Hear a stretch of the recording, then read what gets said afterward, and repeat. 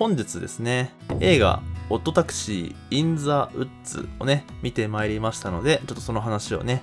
していこうかなと思います。公開がね、4月の1日金曜日かな。なので、まあ、まだ公開2日目ということでね、ちょっとまだまだ見てない方もいっぱいいらっしゃると思うので、まあ、あの、映画のネタバレはね、しない形にしようかなと思っております。とりあえず、ちょっとイントロダクションから見ますか。17人の証言が真実の扉を開く。衝撃の結末のその後を見届けろ。2021年春に放送された「オットタクシー」巧みなストーリー展開が憶測を呼び熱狂的ファンによる考察サイトが立ち上げられるなど大反響を巻き起こした。最終回に待ち受けていた衝撃的な事実。放送終了後も勢いは衰えず Twitter ではトレンド入り。デビューサイトフィルマークスでは2021年アニメ満足度ランキングで数ある作品の中から堂々ランク入りを果たした。脚本は漫画瀬戸内海や映画ブラック拘束で知られるこの本和也。今回の映画化ではテレビシリーズのエピソードを別の角度から捉え直し新たな作品として構築している。監督は新鋭木下漠。ヒップホップレーベルサミットのパンピー、ババー、OMSB による劇版音楽が作品を個性的に彩っている。主人公、小野川を演じるのは花江夏樹、飯田里穂、木村良平、山口勝平といった実力派声優が脇を固める。さらにお笑い芸人のミキ、ダイアン、ラッパーのメテオといった個性的なキャストもアニメ版に続いて再集結。緻密に張り巡らされた伏線、それを見事なまでに回収し考察さえ追いつかない速度で加速していくストーリーそして最後に明かされる驚きの真実。さらに映画ではアニメのラストシーンのその後も描かれ登場人物それぞれが迎えた本当の結末へと続いていく。オットタクシーの全てがこの春ついに明かされるというねイントロダクションになっております。こちらがストーリーですね。偏屈で無口な変わり者小戸川個人タクシーの運転手として街を流しながらもなるべく他人と関わらないように平凡な日々を過ごしていた。ところがある日思いがけず練馬区女子高生失踪事件に巻き込まれてしまう。さらに小戸川の周囲からは一人暮らしの部屋から話し声が聞こえたなど不穏な証言も。事件は億を超える巨額の金目的不明の半グレ集団。売り出し中のアイドルカリスマ化されていく大学生など様々な事物が絡み収集不可能なほど混沌としていく。それでもある計画の実行をきっかけに事態は一気に収束。一連の出来事は多くの悲しみや不条理をはらみながら一旦の結末を見た。かに思われた。事件後関わっていた人々が口々に証言する。見えていた出来事の裏の裏。本当はそこで何が起きていたのかをそれらをつなぎ合わせることで浮かび上がってくる事件の新たな輪郭。一人のタクシードライバーが体験した人生を一変させるような出来事が形を変え未来へと続く運命の歯車が再び揺さぶられていくというねストーリーになっております。先に話すとえー、っとですねこちらにも書いてあるんですが、えー、本作はですね一応総集編という形になっております。まあ最近テレビシリーズでよくあるね、総集編プラスアルファっていう感じの映画なんですよね。まあ、そのプラスアルファっていう部分が最後、えー、アニメ最終回のシーンからプラスアルファの部分がね、描かれるということもありまして、個人的にもね、オットタクシーもう一回見返してみたいなっていう気持ちもありましたし、ね、最終回の最後っていうところがね、非常に気になってもおりましたので、自分もね、えー、公開3日目か、のね、今日見に行ったわけですけど、あのね、マジで満席でしたね。びっくりしちゃいましたね。まあ、テレビアニメの総集編でここまで満席になる作品ってマジで見たことがなくて、ここがね、やっぱ一番驚いたかなって感じですね。まあ、僕の周りで、オットタクシーを見てる人って、まあ、いつも普段からね、もう何でもアニメ見てるような人しかいなかったんですけど、うそういう客層じゃない人がいっぱいいて、本当になんか幅広い層に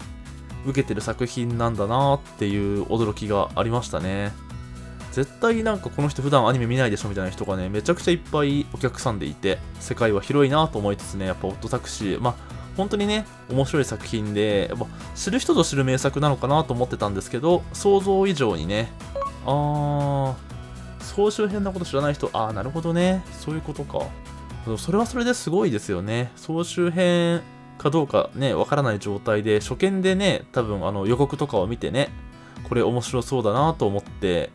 ね、見に来た人もいっぱいいたのかなと思うとね、すごいですよね。ちなみに、えー、総集編と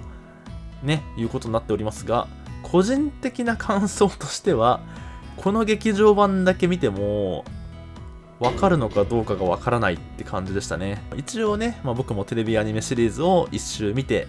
おおなるほどねって言って、こう、いろんな伏線とかもね、ちゃんとこう、毎回毎回ね、驚かされながら、こう、テレビアニメ十分に楽しんで、今回の劇場版にね、ま向かってるわけですけど、テレビアニメを一話も見ないで、この映画見てわかるのかって言われると、どうなんだろうなって感じですねどうなんだろうか。っていうぐらい、そう自分が思っちゃうぐらい、こうね、ここにも書いてあるんですけど、テレビシリーズのエピソードを別の角度から捉え直して、新たな作品として構築してるんですよね。うん。これがね、まあ本当にその、テレビを、テレビシリーズを見てる人からすると、視点が変わると、キャラクターの行動原理だったりっていうのが、こう伝わり方が全然変わってきて、本当にね、あの、同じ作品を2回見てるっていう印象は全くなくて、もはやなんか別作品を見てるんじゃないかっていうぐらいね、結構新鮮な驚きがいっぱいある映画でしたね。だからこそ、なんか、総集編だけ見ると伝わんのかなっていうのはちょっと不安に思うところではありましたが、とりあえずどうなんだろう、総集編のこの劇場版見てから、まあ、テレビシリーズを見るっていうのはね、ありかもしれないですけど、この総集編だけ見るっていうのはなかなかね、ちょっとハードルが高そうかなっていう印象はありましたね。実際わかんないですけどね、テレビシリーズ見ちゃってるので、テレビシリーズ見てない人の気持ちにはね、完全にはなれないので、何とも言えないんですけど、総集編だけ見るよりは、テレビシリーズ見てから行った方がいいかなっていう気もしますし、逆にそのテレビシリーズ見て、総集編だから見に行かなくていいでしょっていう人は、逆にね、見に行ってほしいなっていう感じはありますね。もうそこら辺の総集編映画とは、全然ね、毛色の違った総集編映画となっております。基本的にタクシーのテレビシリーズはある程度時系列で、そしてまあある程度、えー、小戸川の主観で話が進んでいく感じなんですけど、こう今回のね、劇場版の方は各キャラクターのね、まあ、その調査報告書を取ってるみたいな感じで話が進んでいくので、まあ、各キャラクターの語りとしてね、えー、テレビアニメのこのシーンがあったよねっていう感じの総集編になってるっていう感じですかね。一つ一番ね、伝えたいのが、その総集編映画ですけど、総集編という枠を超えて、その新たな視点からの再構築されたオットタクシーだよっていうところで、ね、まあ、テレビアニメの方をしっかり見てれば見てるほど、よりね、楽しめる作品だったのかなと思いますね。テレビアニメシリーズのネタバレにはなっちゃいますけど、この作品のまあ最大の最大のポイントと言っていいでしょう。なんでこの作品、キャラクターが動物なんですかっていうところですよね。ここに関してテレビシリーズを見てる人であれば、まあ、その原因がね、何であるかはまあ分かってると思うので、まあ、あえて明言はしないんですけど、それをやっぱ理解した上で、ね、一からこの作品をやっぱり見直すと、周りの反応がやっぱりちょっと違ったりとかね、そういう新しい発見もありますし、それがまあ一番大きいとこですけど、それも含めてね、初見の1周目では気づかなかったような細かい伏線にもね、絶対いっぱい気づけると思うので、もともとね、1周だけ見て楽しめる作品でもないかなというか、まあ、1周、2周、3周ぐらいしてね、楽しめる作品かなと思ってますので、ぜひね、おすすめの劇場版でございますね。アニメのね、ラストシーンのその後も描かれてますっていうのがね、やはり、えー、ま、本作最大の売りですので、そこの話をしたい気持ちもあるんですけど、そこの話をするのはちょっと違うかなというね、気はするので、ここに関しては、は喋んないでおこうかな。一応ね、そのアニメのラストシーンがどういうシーンだったかっていうところで言うと、テレビシリーズの最後は、このアイドルグループ、ミステリーキッスのね、ところのお話で、まあ、真の犯人としてね、和田垣さくらちゃんという方がね、いまして、そのさくらちゃんがお母さんと電話して自分が犯人だったよっていう話とか、ちょっとね、意味深な会話をしながら電話して小戸川のタクシーに乗り込んでニコって笑って終わるみたいなね感じなんですよね。劇場版ではそこからね先のエピソードが描かれておりますということでね。いやこれがね結構まあ驚かされる内容でしたしその辺のねそれがあったからこそのその先の展開みたいな部分もねちょっと描かれたりしましたので、まあ、気になる方はぜひね劇場に見に行ってくださいっていう感じですね。でねまたねエンディングのね映像があるんですけどエンディングの映像がねまためちゃくちゃいいんですよね。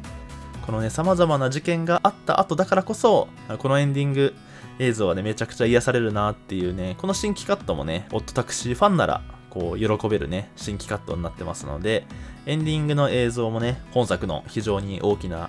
魅力かなとなっておりますね。そしてね、まあ、エンディングが終わった後にね、まあ、ちょっとあるんですよ。えーまあ、エンディングが終わった後のそのね、ま、ワンカット。ここもね非常に重要なねニュアンスになっているんですけどここも何があったかを喋れないとそれが何なのかの考察もねそもそもできないというところでまあ喋る気はないのでエンディング終わった後に、さらにね大事なカットがありますよというお話でした。気になる方はね、SNS とかで調べればねいっぱい出てきますし総集編っ